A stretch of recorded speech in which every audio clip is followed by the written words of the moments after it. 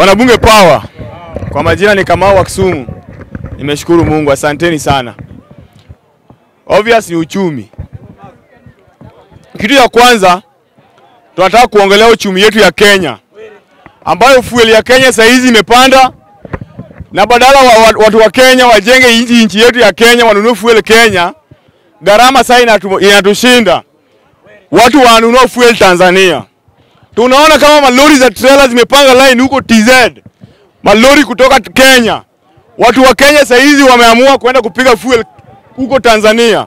Juu ukiona venye hiyo kitu imeachana, imeachana almost over 45 shillings.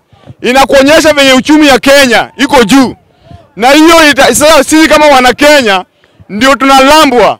Juu sasa watu badala watoe tax yao hii Kenya yao, watu wameamua kutoa tax kuenda Tanzania. Juu uchumi ya gharama inafanya watu wanahama. Maisha ni ngumu, kila kitu imekazana saa hizi, bei ya kila kitu imepanda, hadi vitu zenye zaipandishwa bei tangu mimi nizaliwe. Kitu kama chumvi ilipandishwa bei, ndio hii serikali ya William Samoei Ruto ndio waligundua chumvi pia inafaa kupandishwa bei. Chumvi hata wewe mwenyewe ukisweat, hiyo sweat yako ni chumvi, inapandishwa bei. Hii Kenya penye imefikia, hatuwezi cheka hata kidogo, hatuna furaha hata kidogo. Juu saa hizi wanaleta vituko na wakishapitisha vituko zao wanaenda kukula mkati US. Juu wanasema watu wa US ndio wanachagua watu hii Kenya. Wewe unarauka ukienda debe asubuhi na kumbe hii kura yako si, si vote. Wanasema hii post ya president si post ya wananchi kupiga kura.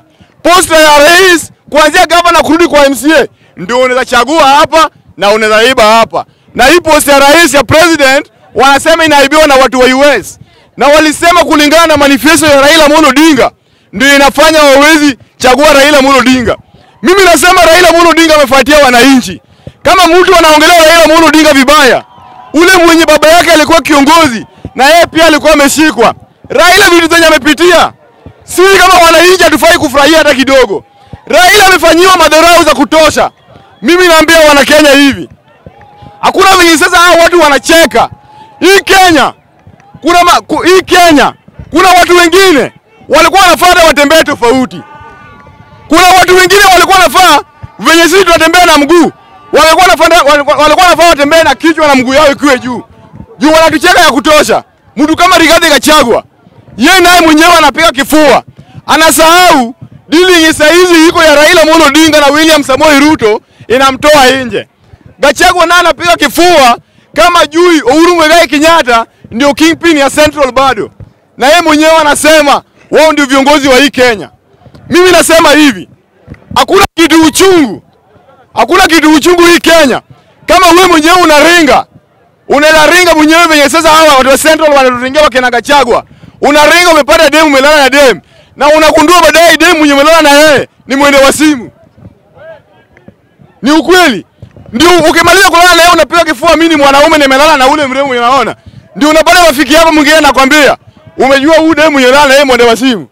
Hakuna kitu uchungu kama hiyo. Na hiyo ndio kenye nataka kufanyikia hii Gachagua. Gachagua pia kifua. Najua 2027 sisi tunajua William Samoei Ruto ashaamua 2027 Gachagua mwenyewe hatakuwa hatakuwa deputy ya William Samoei Ruto. Nimewaambia hivyo na Wakenya mnafaa vijue vizuri. Na huyu Kalonzo Musyoka mwenye mnamuona hapa ndiye atakuwa deputy biwa, atakuwa deputy ya huyo Ruto. Wanakenya tukuwe na amani. Najua wamama wanateseka penye wako. Saa hizi watu wanakula hata ugali na chumvi kwa nyumba zingine kulingana na uchumi ya maisha. Tuvumilie tu kwa hii miaka tano, vitu